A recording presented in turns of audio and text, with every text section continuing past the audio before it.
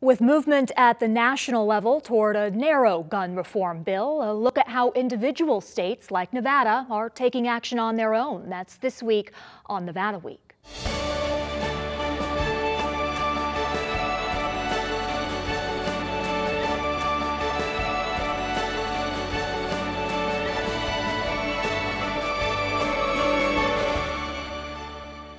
Support for Nevada Week is provided by Senator William H. Hernstadt and additional supporting sponsors. Welcome to Nevada Week. I'm Amber Renee Dixon. Following the mass shooting at an elementary school in Uvalde, Texas, in which the gunman used an AR 15 style weapon to kill 19 children and two teachers, Nevada State Treasurer Zach Conine announced he'd be divesting $89 million in state funds from companies that sell or manufacture assault style weapons.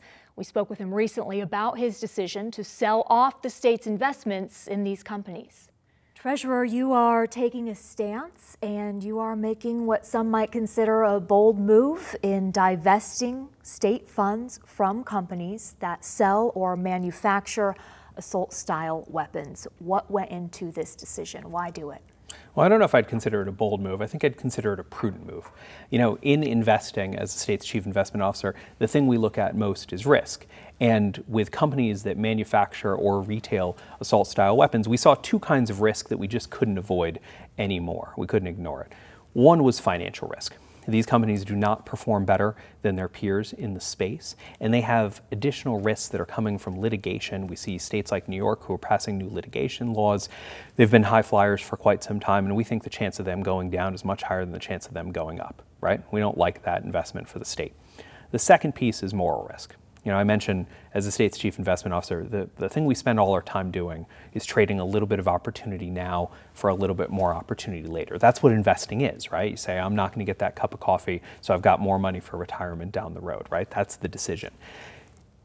What is the point of any of that if the people that we're saving for in the future aren't around for it? What opportunities do those kids and those teachers have in Texas? What opportunities do the people who were killed at October 1 have? What opportunities are out there? And as the state's chief investment officer, we just cannot continue to have the moral risk of supporting businesses that are killing people. What would you say to someone who says the state treasurer should not have a social advocacy role? Well, the state treasurer, uh, when he's not being the state treasurer, is a father of three kids, an eight-year-old and two five-year-olds. State treasurer had to drop his kids off at school the next day with tears in his eyes. My wife and I stood there, as did many other parents, for another half hour, wondering if we were making the wrong decision. The state treasurer is a Nevadan before he's an investor, and we've got to balance both of those things. Back to the financial risk, you talked about potential litigation. There are federal protections for mm-hmm. gun companies against lawsuits. Uh, we did see recently with Sandy Hook that Remington had to pay those families uh, a settlement, but that was something dealing with Connecticut law mm-hmm. and them not marketing themselves in a way that followed their law. You really think that there are a lot of litigation opportunities headed in the direction of gun companies? Well, we do. I mean, we've seen 104, 105 mass shootings since October 1. And with each one of those mass shootings is another opportunity for litigation. And states around the country are looking for different ways that they can try to cut down on this gun violence. And litigation is one of those tools. Here's the other thing even if they win all of those lawsuits, they will have to pay money to defend all of those lawsuits. Some they will settle. All of those are risks against the underlying assets. We don't need to take those risks. There are thousands of companies the state could invest in, thousands of bonds and pieces of paper the state could buy. We're just going to buy ones that don't have that kind of risk. And how likely is it that there will be increased regulation on the sale of guns? You're, you're banking on that. Well, I think in our in our world, we're banking that the upside uh, in those companies is less than the downside in those companies, right? We are looking at the risk and making that determination. I think there's a lot of interest in trying to find a safer way that we can all live our lives, and some of that could come through extra regulation. In Treasurer's office, we don't work on regulation, we work on risk. And so our focus is always going to be on how do we make sure that Nevadans can get as much out of their tax dollars as possible. This is one of the ways we're doing it. And I think it's important to say when we went through this process, and we've been working on this for quite some time, we developed a process that would make sure that Nevadans lost not one cent right? So if it's an equity holding, we're going to sell at the market rate. Everything we've found so far in the screen, about 89 uh, million dollars of the 49 billion that we directly or indirectly manage, has been in, uh, in equities and mutual funds, things that are highly liquid, um, and so no loss on that front. On the other side, if we find anything on the bond side, on the fixed income side, we're going to do an analysis. And that analysis very quickly is going to look like we're going to look at the book value, we're going to look at the market value. If the market value is over the book value, in other words, we can sell it at a profit, we'll sell it at a profit. If not, we'll hold it until maturity and we'll never buy it again. So there is no mechanic through which the state can lose money here. The timing might be difficult of divesting. There are times when there is a mass shooting and stocks in gun companies will go up. It doesn't always happen, but it does happen. How do you time it? Make sure you are not losing any money for the state, but also not taking advantage of a mass shooting? Yeah, well, well we didn't time it, we just did it right? So $89 million sounds like a lot of money. In the universe of equity transactions, and you've done it it's already. nothing. It's done. It's gone. I mean, that's similar to an executive order. Yeah. Well, that's, and that's the thing. You know, the treasurer, as the chief investment officer of the state, that's a decision that we get to make. Um, and any treasurer would get to make that decision, same decision or a different one. And over the years, we've seen different treasurers buy into companies or not buy into companies based on how they felt, right? Risk is obviously a very personal thing. You're looking at both the math and the and the sort of objective things, and you're also looking at the subjective things. But that's what makes an investor. I've been doing this for a long time. Um, I feel pretty good about our decision. I think some people would be surprised to know that if they have a 401k with a target date, it's likely that their portfolio includes some gun companies. I'm so glad you brought this up because this is so important. People need to understand what they own. And you can ask. You can ask your investment manager, you can ask your financial advisor. You can actually dig into the underlying securities that you own, whether it's a SPDR or an ETF or something else. You can get in there and understand what are those companies. And if you don't like them, you're going to find that there's another product that is almost exactly the same without those companies in it. Okay, so uh, executive order, $89 million that's been divested. There is still another chunk of money that's not under your direct control. Mm-hmm. You can't say you got to do this. Explain the college savings plan and how you are going to go about divesting or recommending divesting from them. Absolutely. So Nevada has one of the largest college savings plans in the country. We've got about $39 billion under management. Now that is because our plans are so good that people come in from all around the country to invest in them. They're managed by major companies, companies everyone's heard of like Vanguard and Wealthfront, USAA for our veterans. And we have these amazing programs. And we're going to reach out to those managers, have reached out to those managers, and say, hey, we want to make sure that there is additional transparency for the people who are investing in those companies. We want to make sure that people know that they're investing in companies that uh, manufacture or uh, retail assault style weapons, and then people can make their own choices. All we want is to make sure that Nevadans and everyone else who's invested here in Nevada has all the information they need to make the decisions that they want. There was an article uh, in Fortune about the effectiveness of divesting. Quote, there is little evidence that a company's share price changes as a result of divestment campaigns. For every investor who sells off shares of a company they find objectionable, there's another one who has no issue with snapping them up as long as there's the opportunity to make money. How effective do you think what you're doing is? Are you trying to hurt gun companies financially? We're not trying to hurt gun companies financially. We're trying to keep kids alive, right? And let's be very specific here. Our work was to prevent risk to Nevadans. Our, my personal feelings, the fact that we think that there is a moral risk there, the fact that we don't want people to have to live like this in the United States, that's a secondary function. It's a benefit, don't get me wrong, and I'd do it again. But the reason we did this is because we were trying to avoid the risk of those companies. I think divestment does work, right? We've seen it work in certain places. There's not a lot of apartheid in South Africa anymore, right? And so we think that our work and the work of others, because remember, we didn't get to this first. New York City, Connecticut, Rhode Island, Michigan has joined this fight. Uh, Clark County, at the, their meeting the other day, um, talked about exploring whether or not there were opportunities for them to divest. Right, they're they're conducting a screen to see what's out there in their investments. I don't think that Nevada's $89 million is going to move the needle, but if we can get some of those other big states and big pension funds to think about this a little differently, maybe it will. But even if it doesn't, we have prevented the state from losses that the state doesn't need to take.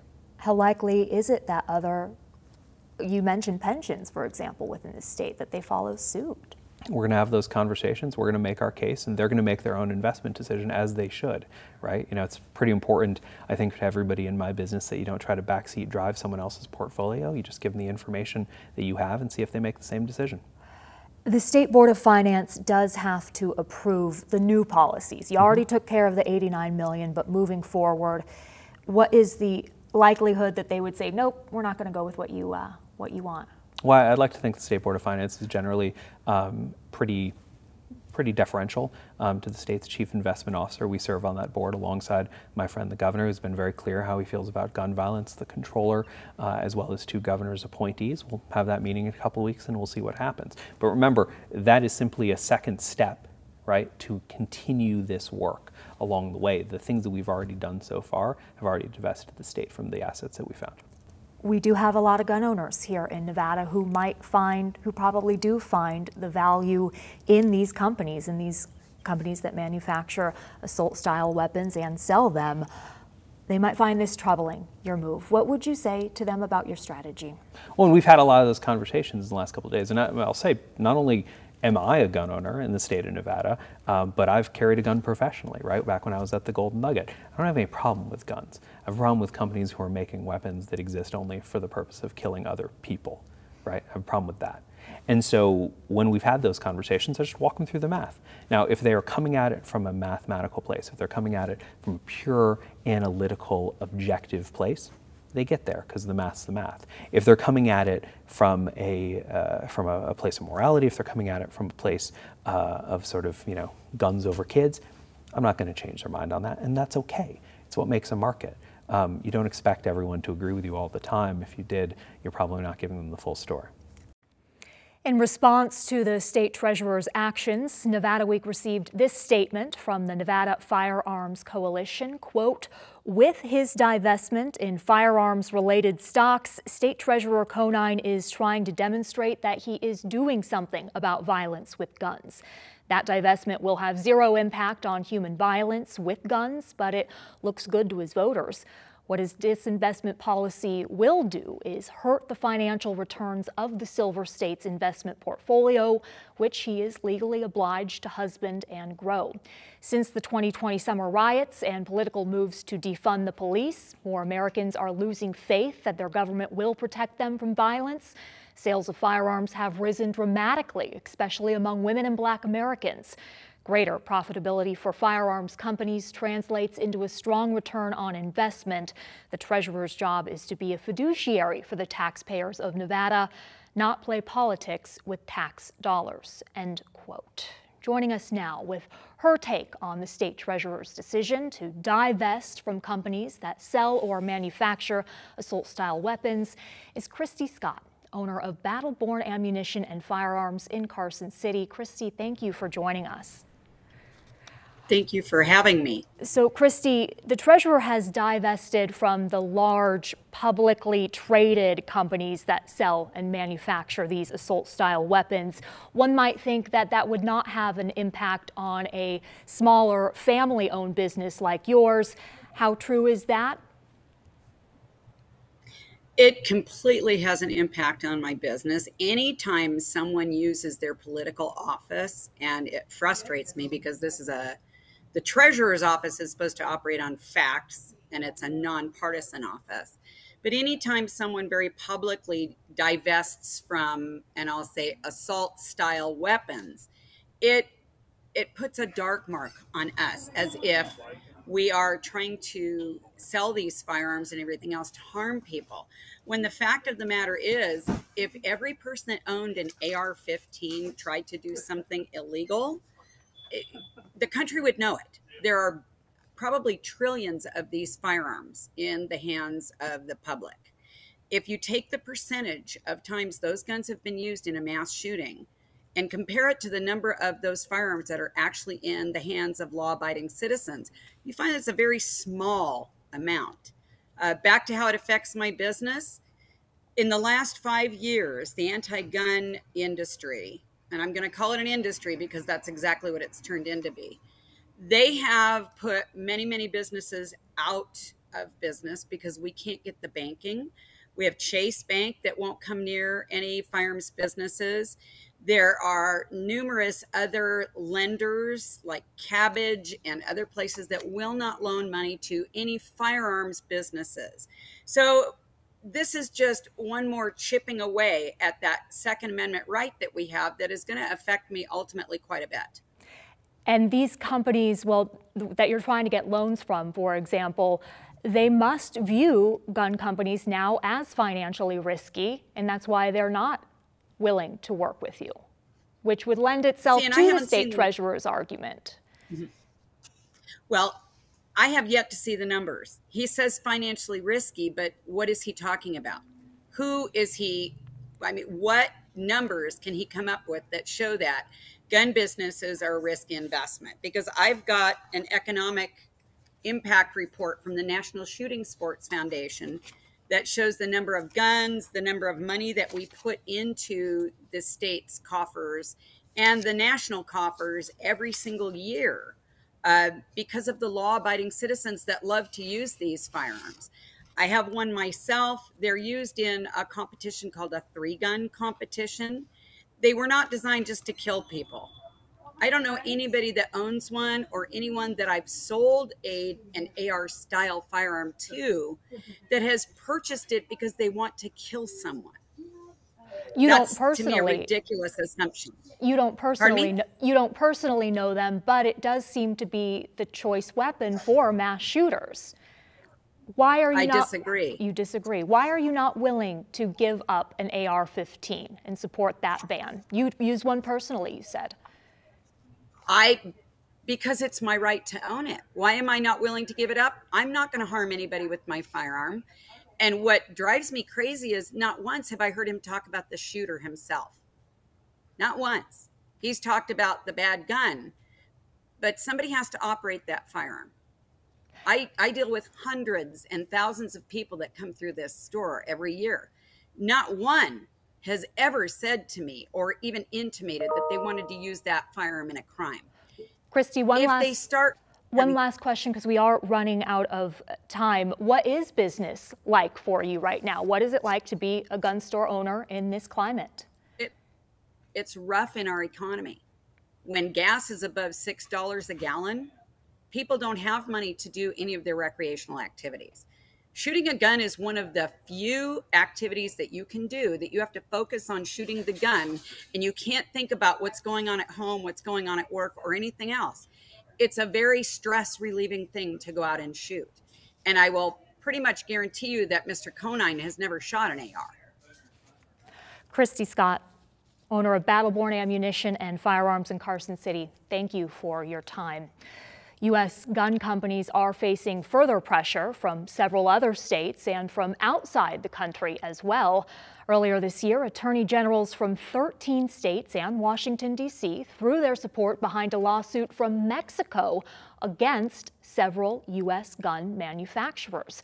Mexico is suing the manufacturers for $10 billion, accusing them of knowingly facilitating the trafficking of weapons to criminals in Mexico and thus fueling gun violence. With me to explain Mexico's stance in this matter is Julian Escutia Rodriguez, Consul of Mexico in Las Vegas. Thank you so much for being here. You wrote an opinion piece on this lawsuit for the Las Vegas Review Journal recently. Help us to understand why U.S. gun companies are to blame for this issue in Mexico. How are they knowingly and deliberately helping traffic weapons into Mexico? Thanks for having me. Uh, the government of Mexico believes that the manufacturers of guns in the U.S. are negligent and illicitly uh, selling weapons to uh, drug dealers and other criminals in Mexico. They are advertising their products in a way that is attractive, attractive to them. They are using commercial practices that facilitate the illicit traffic to Mexico. They are selling in a way that it is not traceable. Uh, there's bulk sales, there's straw purchases, uh, there's a chain of uh, illicit practices that are really troublesome and that are fueling violence in Mexico. When you talk about how they're marketing them specifically for Mexican citizens, what are those marketing campaigns like? Well, it's not for Mexican citizens, for Mexican and other criminals. Uh, they produce weapons that are attractive to them. They uh, inscript uh, certain uh, sayings that are popular. They are putting gold on them. They are uh, making them attractive.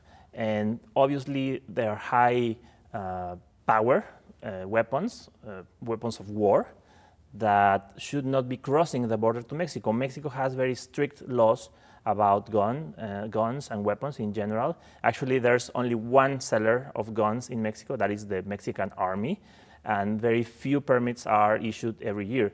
So having this massive flow of weapons to Mexico is really a problem to us. And from what I understand, some of that marketing, I mean, maybe like quotes from famous uh, people in Mexico's history and per, I, pictures, maybe? Pictures, heroes on of our guns. history on the guns.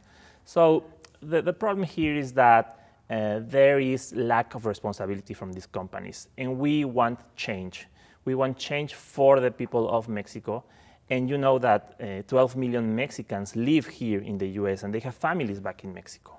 So this violence is affecting nationals from both countries. NSSF, the Firearms Industry Trade Association, calls these allegations baseless. Uh, its senior vice president said, quote, the Mexican government is responsible for the rampant crime and corruption within their own borders.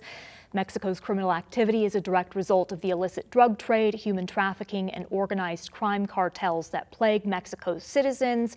Rather than seeking to scapegoat law abiding American businesses, Mexican authorities must focus their efforts on bringing the cartels to justice. What role of responsibility does Mexico have in addressing this issue? So, obviously, we have been taking uh, measures against uh, drug traffickers and other organized crime uh, organizations for many years. And actually, we are working very closely with the US government for many years now. We launched a new uh, program called the Bicentennial Understanding, by which we are putting in the center of our efforts the safety of people on both sides of the border. So we are doing our part.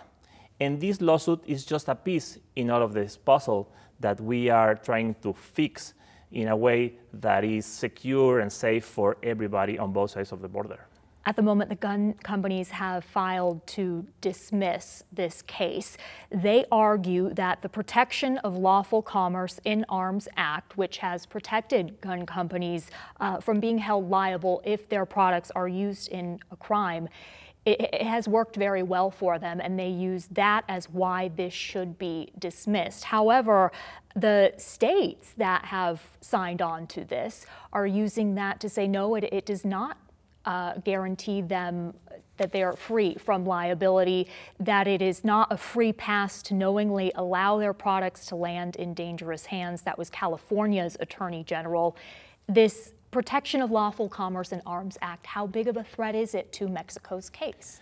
So, what we are arguing in our lawsuit is that that particular law does not uh, apply to Mexico because the effects of their illicit and negligent commercial practices are causing damages in Mexico. So that law is exclusive for the US and provides, in a way, immunity from claims for third parties in the US. So we are not claiming that. We, we actually respect all laws and regulations in the US. And we are using another argument that the flow of weapons, illegal weapons to Mexico, are causing troubles in Mexico and deaths in Mexico and the states that we mentioned that signed on, uh, Nevada was not part of that. And the reason why is, well, I will read a quote from the Attorney General, but first from Connecticut's Attorney General said that this particular act we're talking about, quote, does not shield gun manufacturers and dealers from consumer laws governing the marketing and sale of firearms. That is the consumer protection law that Connecticut was able to use in the Sandy Hook case. That led to Remington having to settle with, or choosing to settle with the Sandy Hook victims' families because of that consumer protection law. Um, in terms of Nevada, this is what Nevada's Attorney General said. The Connecticut state laws at issue in the case are unlike those in place in Nevada hence our decision to not join with the group. However, we are monitoring the case and will look to join in the event that circumstances make it appropriate. Attorney General Ford has long supported common sense gun laws and reform, including closing gun show loopholes, banning ghost guns, and expanding background checks, and will continue to do so in the future. In addition to that $10 billion, Mexico is also seeking these gun companies to change how they operate. What else do you want them to do? So we want them to fund uh, studies, research, uh, best practices uh, for everyone in the US and abroad uh, to make sure that there are sensible regulations for the sales of weapons. Uh, we would like them to basically stop their practices that are producing uh, this massive and illegal uh, flow of weapons to Mexico. We would like them to have more controls in the actual weapon, make uh, it more difficult for a third party to use the weapon that a person or an organization may purchase legally in the US. Consul of Mexico in Las Vegas, thank you so much for your time and thank you for joining us for Nevada Week. For any of the resources discussed, go to our website, vegaspbs.org slash Nevada Week. You can follow us on Facebook and Twitter at VegasPBS. Thanks for watching.